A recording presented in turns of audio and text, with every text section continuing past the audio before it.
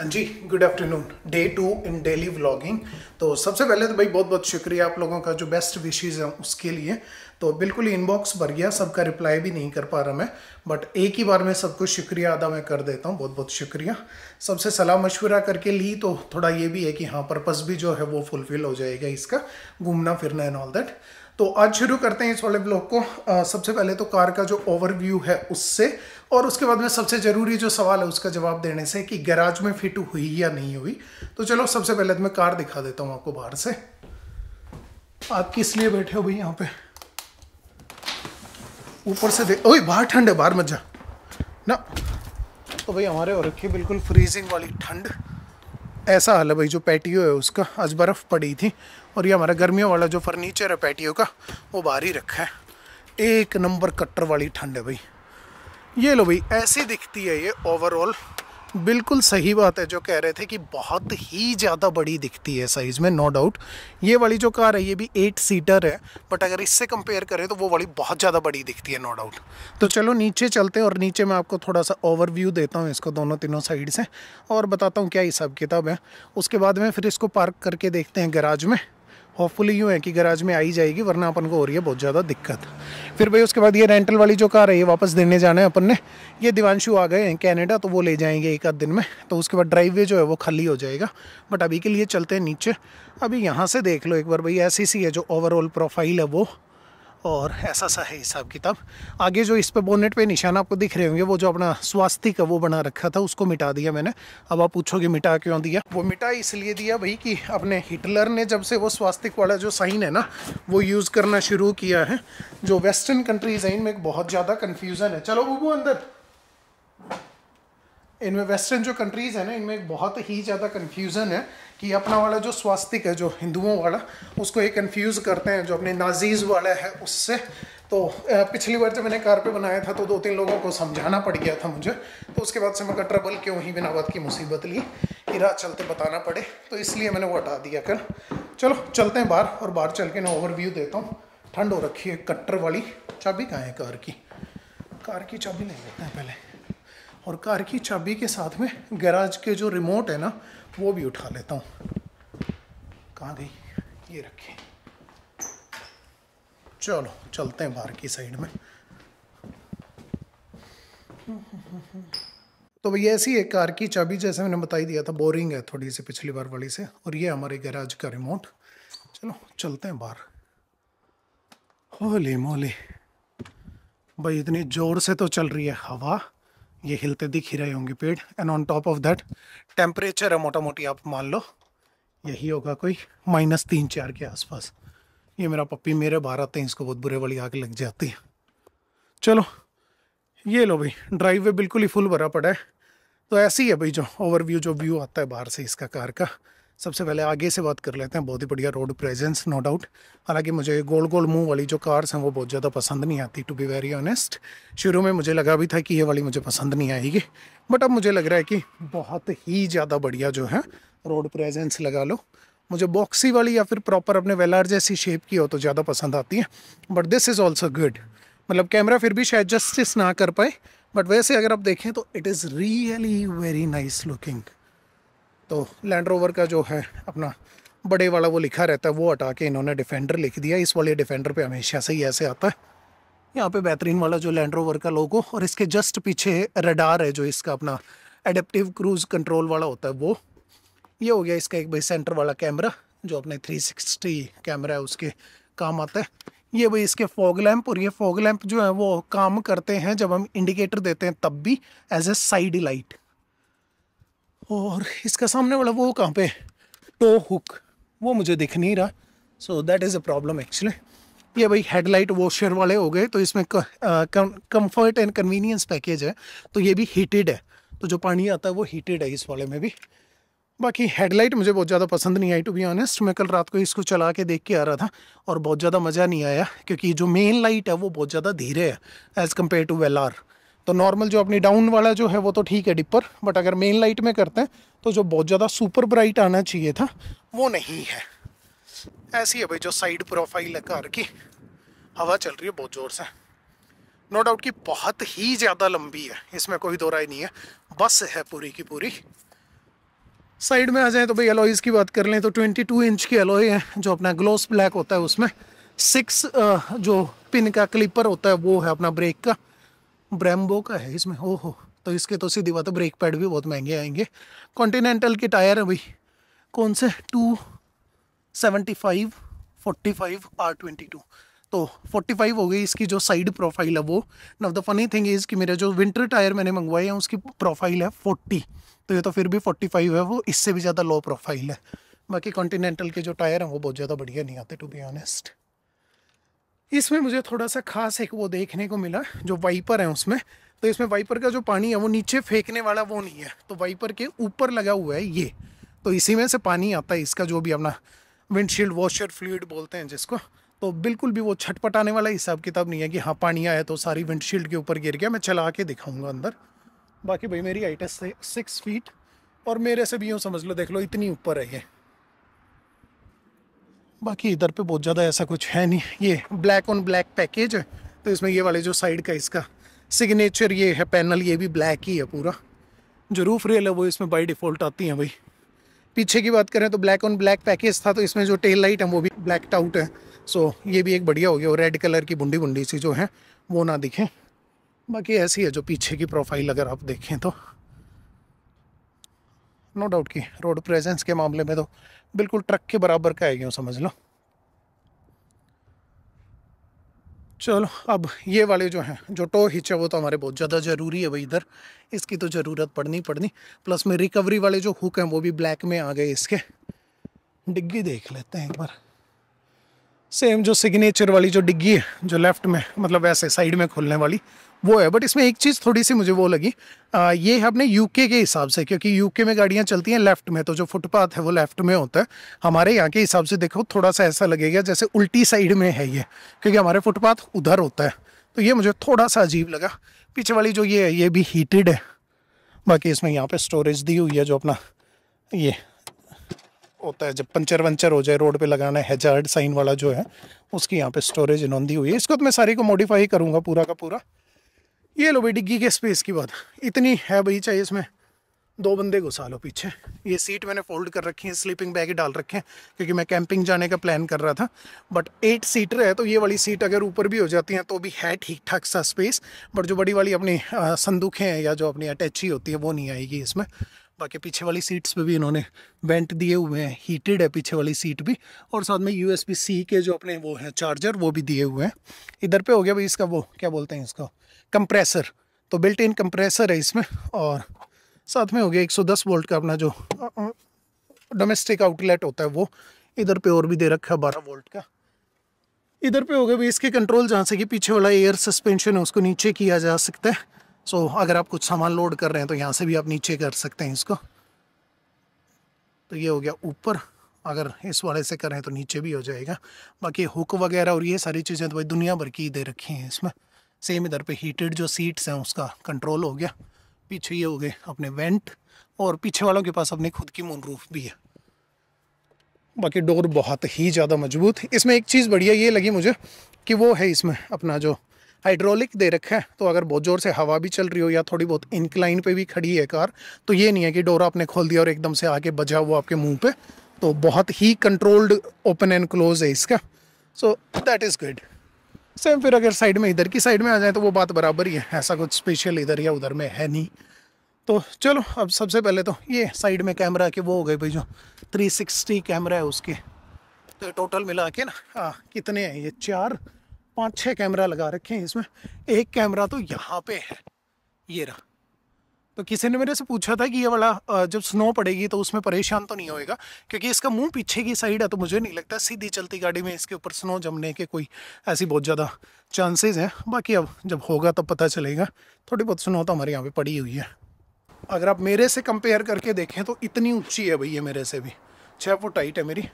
बाकी वही है कि हाँ ओवरऑल अगर कार की बात करें तो पूरी पूरी पसंद आई भाई मुझे। पहले मुझे लग नहीं रहा था वैसे कि पसंद आएगी टू बी ऑनेस्ट बट अब मुझे लग रहा है कि ठीक है जो मेरा पर्पज़ है उसके हिसाब से बहुत ही ज़्यादा बढ़िया। रोड प्रेजेंस भी है साइज़ भी मिल गया मुझे तो इसमें यूँ है सोने वोने की जो जगह है वो मुझे मिल जाएगी। चलो, अब सबसे पहले करते हैं भाई अपना जो गराज डोर है, उसका जो भी अपना लिंक तो वो बताता हूँ कैसे होता है यहाँ पर अगली वीडियो में तो मैं ये भी बताऊँगा कि चोरी होने से कैसे बचानी है कार आप लोगों ने, क्योंकि हमारे यहाँ पे लैंड रोवर्स चोरी बहुत ज़्यादा होती हैं। ठंड से बचते हुए अंदर बैठ जाएँ। बहुत ही बढ़िया जो वेलकम स्क्रीन है वो। तो भाई, यहाँ पे पहले तो ये समझ लो तो इसमें गैराज का ये वाला जो है वो बड़े वाले डोर का है, इसको दबाओगे तो इलेक्ट्रॉनिक है वो वो खुल जाएगा। दोबारा दबाओगे तो बंद जहाँ पे वहीं पे रुक जाएगा, तीसरी बार दबाओगे बंद हो जाएगा। Same goes for that door तो इसमें आपको ये रिमोट अगर नॉर्मल पहले कार्स में ये वाला जो रिमोट है वो लेके चलना पड़ता था अब ये लेके नहीं चलना पड़ता। वैसे नॉर्मली यहाँ पे लगा रहता थी कार में यहाँ ऐसे लगा लो इसको बट अभी इसकी ज़रूरत नहीं है। तो अब इसमें यहाँ पे आते हैं होम लिंक करके ना। तो इससे आप जो है अपना जो आ, जो भी ये है रिमोट है उसको आप पेयर कर सकते हो। सो so, इसको पेयर करने का तरीका है। इसको प्रेस एंड होल्ड करके रखना है और फिर उसके साथ में जिस भी बटन से गैराज खुलता है वो उसको प्रेस एंड होल्ड करके हमने रखना है। लेट्स सी मैं करके देखता हूँ। तो जैसे ही अपन करेंगे देख रहे हो ये पीछे कितना ज़्यादा एचडी है ये कैमरा जो है वो। कितनी बढ़िया फुटेज आ रही है इसमें पीछे कार जाती हुई के। तो ये जब ऐसे ब्लिंक करने लग जाए भाई तो उसके साथ ही में जाके हमने अब ये प्रॉब्लम क्या है कि एक हाथ से होएगा नहीं। तो पहले इसको प्रेस एंड होल्ड करना है और जब ये ब्लिंक करने लग जाए तो जिस भी बटन से आपका खुलता है गैराज, उसको प्रेस एंड होल्ड करना है।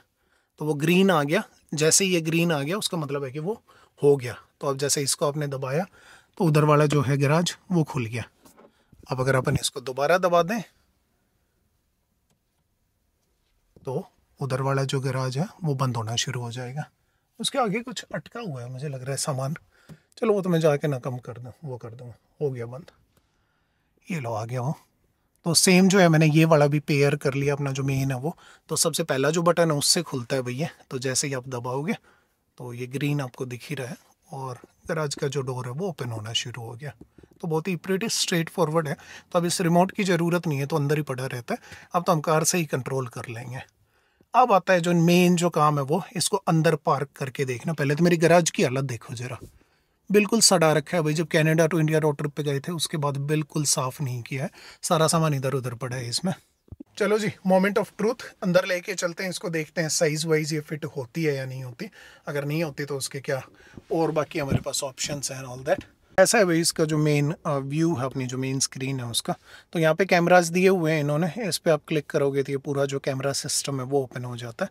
अब इसमें ये वाली जो चीज़ है, वो मुझे बहुत ही ज़्यादा पसंद आई भाई। आ, साथ में है इसमें थ्री बिल्कुल प्रॉपर तो इसको अब बिल्कुल अपने हिसाब से इधर उधर आपने एडजस्ट करना है वो आप करके ना और देख सकते हैं कि व्हीकल के साइड में आसपास में क्या है और क्या नहीं है। तो इसकी हमें अभी ज़रूरत पड़ेगी बिकॉज़ अभी मैं अकेला हूँ तो कोई है नहीं बताने वाला। आगे फिट हुई नहीं हुई एन पीछे। तो चलो धीरे धीरे बढ़ते हैं आगे इसको करके ना। एंड लेट्स सी और ये मत बोलना कि अब मैं चलाते हुए फ़ोन क्यों यूज़ कर रहा हूँ। प्राइवेट प्रॉपर्टी है ड्राइव वे मेरा। तो इस पर जो हाईवे ट्रैफ़िक एक्ट है वो लागू नहीं होता। तो ऐसा सा है भैया हिसाब किताब।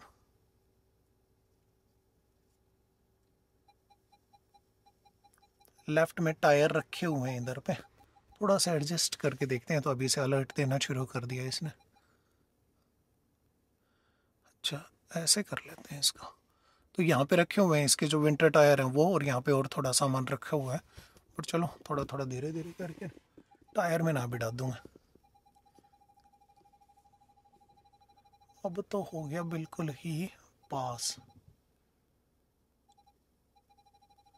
एक बार उतर के देखना पड़ेगा भाई। कैमरे के ऊपर ज़्यादा यकीन नहीं कर सकते। क्योंकि बता तो रहा है ये, क्योंकि प्रॉब्लम क्या है, जो गराज है ना, वो यहाँ तक आता है, जो डोर है, वो तो वो इसका, जो पीछे वाला व्हील है, जो भी स्पेयर टायर है, उसके ऊपर टच होएगा। आगे की मुझे थोड़ी सी टेंशन है तो एक बार उतर के देख ही लेते हैं। इससे पहले कि मैं नई की नई कार जो है, उसको बिड़ाई दूँ कहीं पे। नहीं नहीं बतेर यहाँ पे तो। एक किलोमीटर लंबी जगह पड़ी है।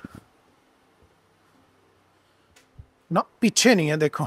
तो ये है जो मेन जिसके अंदर से गैराज का डोर जो है, वो नीचे आता है। तो कम से कम हमें ये छः से आठ इंच जो है, वो अंदर करनी पड़ेगी, वरना इसमें नीचे सेंसर होते हैं यहाँ पे। ये वाला। तो ये, अगर इसके सामने कुछ भी आ गया तो बंद नहीं होएगा फिर जो डोर है वो। चलो, थोड़ी आगे तो कर ही सकते हैं, कोई बड़ी बात नहीं है।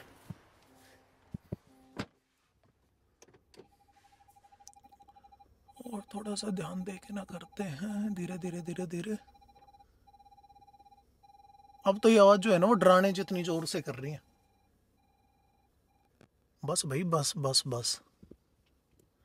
चेक सराउंडिंग फॉर सेफ्टी अब देखो इसमें, ये तो पूरी पूरी जम गई लग रही है मुझे। यहाँ पे भी जगह है आगे जो है वो। And on top of that कहाँ? ये अच्छा ये तो बिल्कुल ही पास है। ये हो गया लेफ़्ट साइड का व्यू भाई लेफ़्ट राइट का। तो ये इधर से देखिए तो लग नहीं रहा कि जगह बहुत ज़्यादा है। बट अगर पीछे देखें तो पीछे हमारे पास जगह है। तो जो अपनी लाइन है इस वाले गैराज वाली, उससे आगे हम आ गए। बस एक बार उतर के ना ये टायर देखना है कि जिस हिसाब से बता रहे हैं इसमें तो टायर प्रॉपर वैसा ही हुआ है या नहीं हुआ। अगर इतना आगे टायर आ गया तो हमारा काम चल गया फिर। बाकी भाई कैमरा सिस्टम नो डाउट बहुत ही ज़्यादा बेहतरीन है, ये मैं ज़रूर कहूँगा hundred and ten percent it's very good चलो, दोबारा पार्क में करके और उतर के देख लेते हैं एक बार।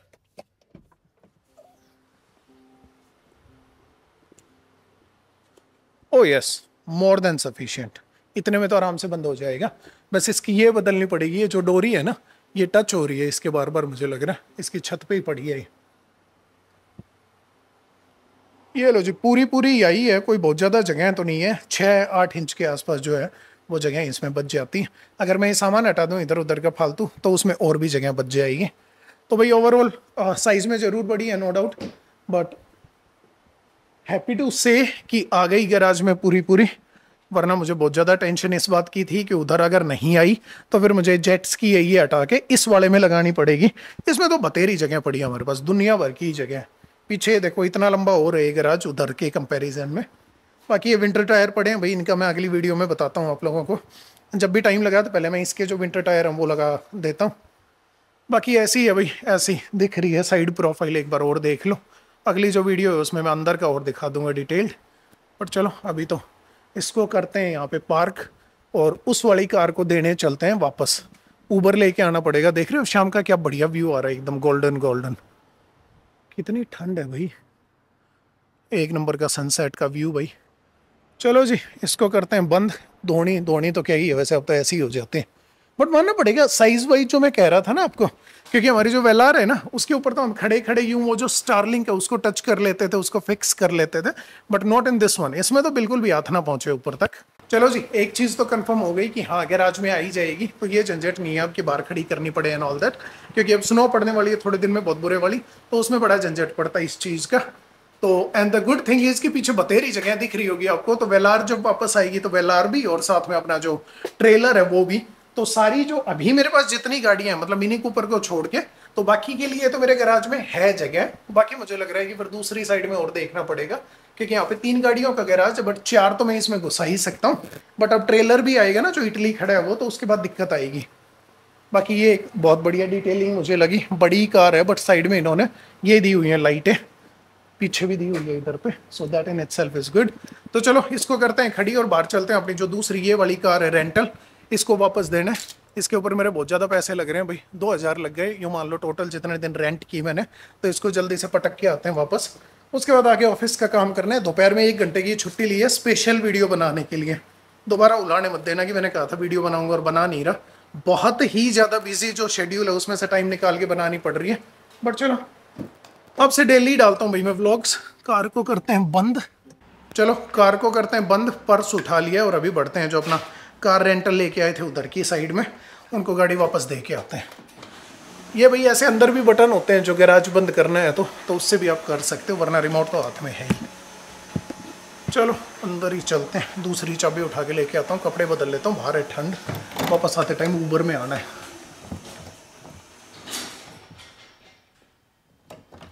सीरियस बता रहा हूँ, मेरे जैसा ना गधा इंसान नहीं मिलेगा कोई भी। मैं मेरा जो मेन डोर है, उसको बंद करके आ गया इधर की साइड से। और गैराज में से अब मैं एंट्री करने लगा तो पता चला कि इधर जो पैटियो का डोर है, जो पेंट्री का डोर है, वो लॉक है। ये लो जी। हो गया गुड डे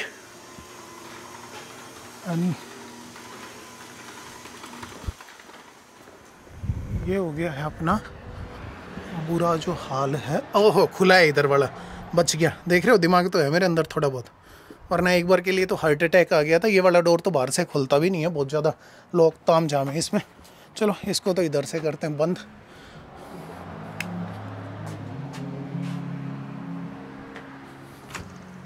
सर, आप अंदर चलो, आपने कहीं नहीं जाना। चलो जी, दूसरी कार की चाबी लेके ना, फिर निकलते हैं बाहर की साइड में। तो भाई टोटल 10 से 15 दिन के बीच में मैंने कार रख ली, मैं घर से बाहर जाता हूँ, सिर्फ़ और सिर्फ़ कॉफ़ी लेने। टोटल मिला के बासठ जो डॉलर है उसका तेल आया है इसमें। टंकी हो गई है एकदम फुल और अब निकलते हैं इसको वापस करने। चलो जी, पहुँच गए हैं घर पे। तो एक जो लाइबिलिटी है, वो ख़त्म हुई भाई।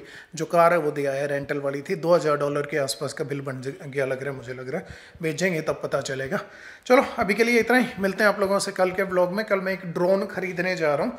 तो ड्रोन लेके ना, और फिर कार की जो बढ़िया बढ़िया फुटेज है, वो आपको दिखाते हैं। इसके अलावा जो अंदर का पूरा टूर है, कार का, और जो सारे, जो भी डिटेल्ड वीडियो हैं, वो मैं कल बनाऊँगा।